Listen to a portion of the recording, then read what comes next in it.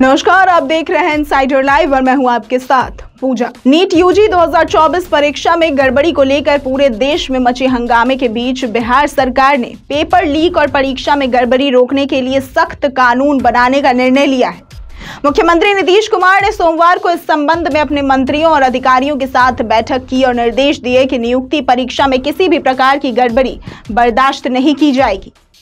CM Nitish Kumar ने अधिकारियों को स्पष्ट निर्देश दिया है कि राज्य में होने वाली सभी नियुक्ति परीक्षाओं में पूरी पारदर्शिता सुनिश्चित की जाएगी।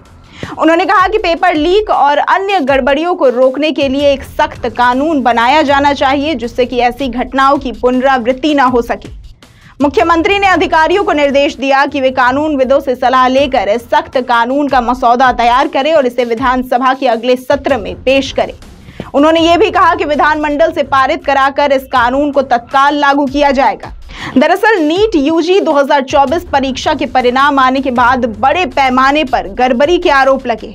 पहली बार ऑल इंडिया फ़र्स्ट रैंक पर सड़सठ छात्रों के चयन और 16 छात्रों के रोल नंबर एक दूसरे के आसपास होने के कारण विवाद उत्पन्न हुआ है। हरियाणा, यूपी, गुजरात, राजस्थान, दिल्ली और कर्नाटक के टॉपर्स के मामले में गड़बड़ी के आरोप लगाए गए हैं। बिहार और गुजरात से पेपर लीक की खबरें भी सामने आई है।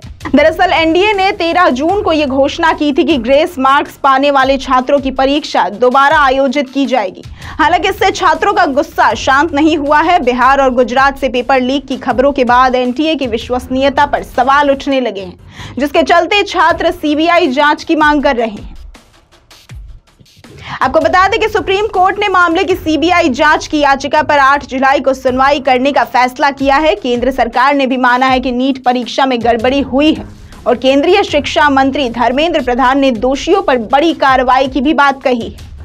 आपको बता दें कि मुख्यमंत्री नीतीश कुमार का यह कदम नीट यूजी 2024 परीक्षा में गड़बड़ी और पेपर लीक जैसी घटनाओं को रोकने के लिए एक महत्वपूर्ण पहल साबित हो सकता है। बिहार सरकार की यह सख्ती परीक्षा प्रणाली में पारदर्शिता और निष्पक्षता सुनिश्चित करने की दिशा में एक बड़ा कदम है। अब देखना यह है कि विधानसभा में सख्त कानून को कब तक पारित किया जाता है और इसे लागू करने के बाद परीक्षा प्रक्रियाओं में कितना सुधार होता है। ऐसी तमाम खबरों और जानकारियों के लिए देखते रहें इनसाइडर लाइव